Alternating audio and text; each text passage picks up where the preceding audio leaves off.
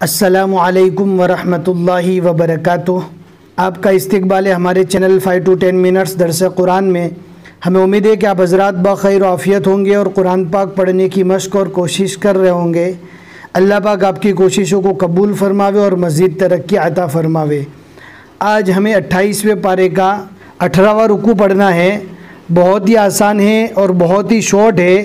Video کو end تک دیکھیں، ذرا بھی اسکیپ نہ کرے انشاءاللہ پوری چیزیں آپ کو اچھے سے سمجھ میں آئے گی۔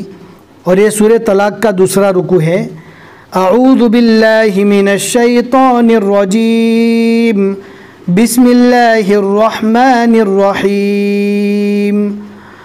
وَكَأَيِّن مِّن قَرْيَةٍ عَتَتْ عَنْ أَمْرِ رَبِّهَا وَرُسُلِهِ فَحَاسَبْنَاهَا دھیان سے پڑھنا ہے۔ یہاں پر پرنٹ میں کچھ مسٹیک کی وجہ سے ڈوٹ ڈوٹ دکھ رہے ہوں گے۔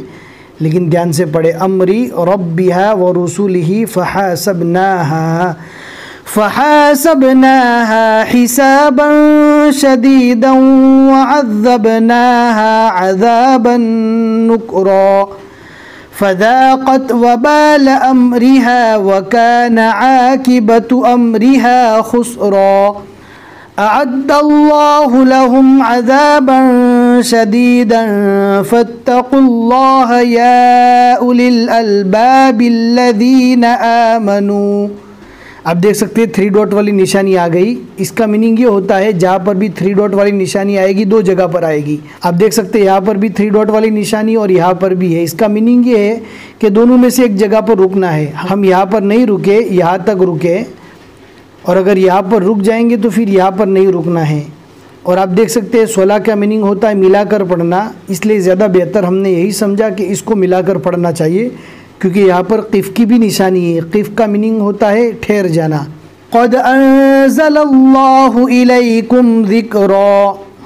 رسولا يتلو عليكم آيات الله مبينات ليخرج الذين آمنوا۔ ليخرج الذين آمنوا وعملوا الصالحات من الظلمات إلى النور. ومن يؤمن بالله ويعمل صالحا يدخله جنات تجري يدخله جنات تجري من تحتها الأنهار خالدين فيها أبدا. قد أحسن الله له رزقا. الله الذي خلق سبع سماوات ومن الأرض مثلهن.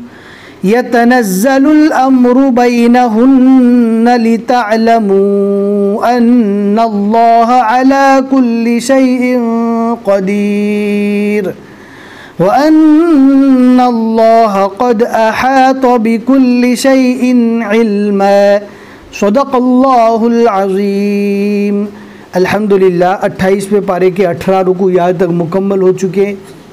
آج کے اس رکو میں ہم نے پانچ آیتیں پڑھی اور یہ رکو صورت الطلاق کا دوسرا رکو تھا۔ اب اس کے بعد نیو سورہ اسٹارٹ ہوگی۔ آگے والی سورہ کا نام ہے صورت التحریم۔ انشاءاللہ وہ اگلے سبق سے پڑھیں گے۔ ہمیں امید ہے کہ آج کا سبق آپ کو سمجھ میں آ گیا ہوگا۔ ثواب جاریہ سمجھتے ہوئے ضرور شیئر کریں۔ پھر ملیں گے انشاءاللہ اگلے سبق میں۔ السلام علیکم ورحمۃ اللہ وبرکاتہ۔